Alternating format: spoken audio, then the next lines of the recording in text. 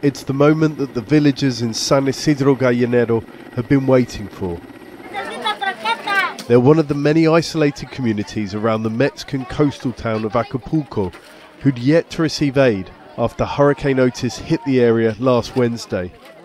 Now the Navy's finally arrived, they told us what they've been going through. There are sick children vomiting because we're having to drink water from the stream. This is it a dirty stream and a cloudy well, the only sources of water after the hurricane sealed them in, trees and debris blocking the roads here.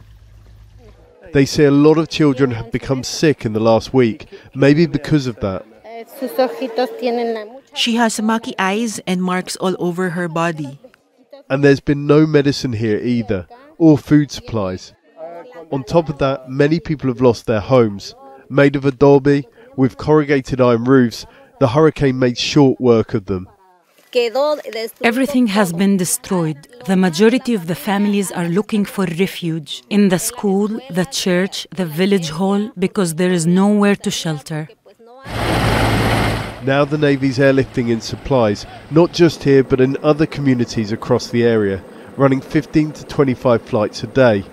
In their hastily organised depot, they tell us it's often hard to get aid to its destination right now. Looting and lawlessness has gripped Acapulco.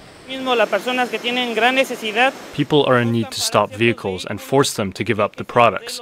That's why we're also providing security and for vehicles traveling with aid.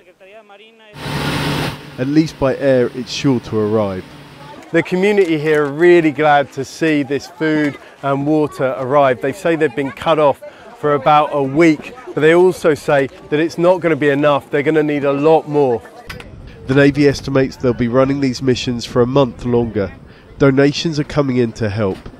Full recovery will take so much longer for these communities, but at least it's a start. John Holman, Al Jazeera, San Isidro Gallinero. Make sure to subscribe to our channel to get the latest news from Al Jazeera.